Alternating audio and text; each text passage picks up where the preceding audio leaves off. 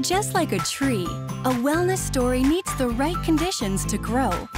The people and places that surround us are like the soil, water, and sunshine. They help wellness flourish.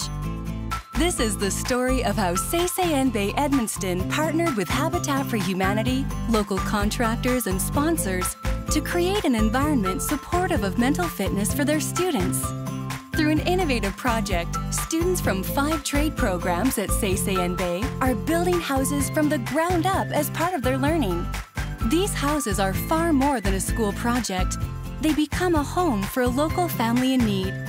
For the students, being on an actual construction site, facing real challenges, and being part of a team that makes decisions together helps them realize their own strengths and working on such a meaningful project brings passion to the worksite.